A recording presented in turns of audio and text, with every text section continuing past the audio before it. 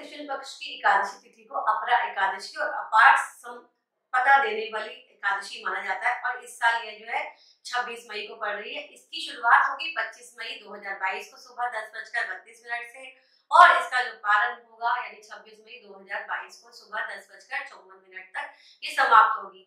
तो व्रत का जो पारण है वो 27 मई को सुबह पाँच बजकर पच्चीस मिनट से शुरू होकर के सुबह आठ बजकर दस मिनट तक रहेगा, यानी छब्बीस तारीख को जो है इसका व्रत रखेंगे लोग।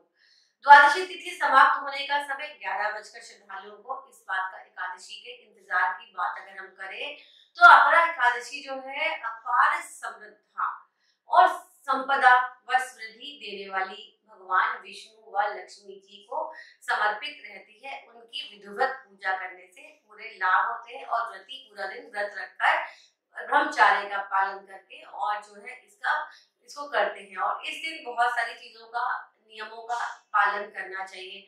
इनको पालन करने से जो है हमारे को एकादशी का महत्व और फल जो है बहुत सारा मिलता है।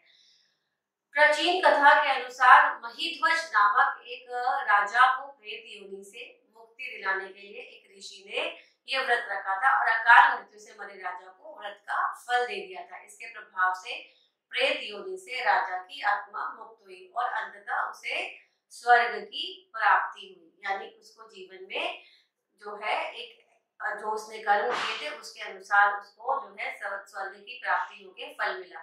इस दिन विष्णु भगवान और लक्ष्मी जी की पूजा अर्चना का खास महत्व होता है।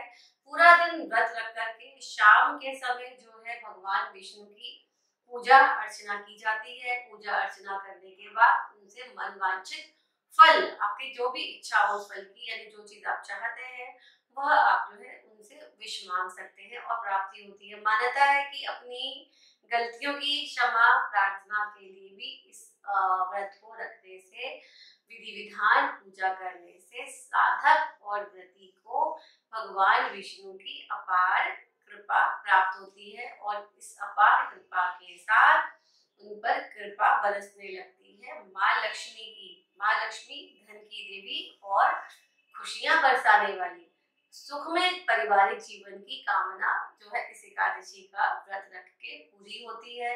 इस दिन चावल खाना जो है विशेष रूप से वर्जित माना जाता है एकादशी में। यूँ तो कई सारे नियमों का पालन करना पड़ता है, पर मैं आपको बताऊँगी कौन कौन से नियम पालन करने से लाभ होगा। जैसे कि सूर्य उदय से पहले उठे और अपने स्नान के जल में आप गंगा जल मिला के स्नान करें।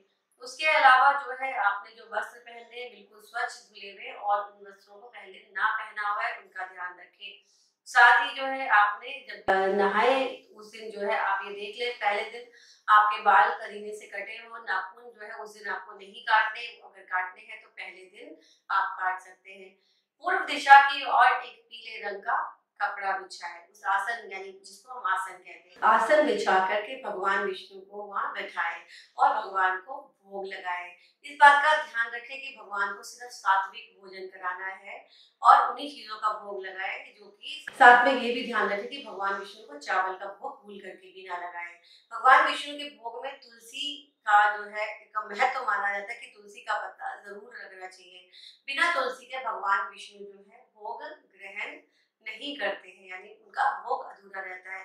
इस पावन दिन भगवान विष्णु के साथ ही माता लक्ष्मी माता लक्ष्मी को भी जो है भोग अर्पित करें, उनकी पूजा करें, उनको साथ बैठाए, अधिक से अधिक भगवान का ध्यान करें, अपने व्रत, अपने मंत्र जो भी आप उच्चारित करते हैं, उन मंत्रों को जो है आप जो है उनको ध्यान से करते रहे तो इससे लाभ होगा। एकादशी के दिन ये ज़रूर ध्यान रखें, झूठ ना बोले, किसी का झूठा ना खाएँ और किसी को झूठा वादा करने से बचे।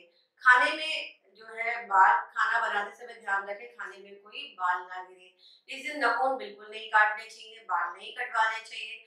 और साथ ही तामसिक भोजन अगर आप व्रत नहीं भी रखते हैं तो घर में तामसिक भोजन जैसे कि मांस वगैरह अगर कोई खाता है तो उसको नहीं करना है। लहसुन, प्याज का इस्तेमाल करने से बचे तो लाभ होगा। इस तरह से हर एकादशी पे आप अपने बारे में जान सकते हैं कि क्या नियम पालन करने चाहिए और एकादशी का पूरा पूरा आनंद लेना चाहिए। फिर मिलोगी नए सब्जेक्ट के साथ, नए वीडियो के साथ, तब तक के लिए विदा लेती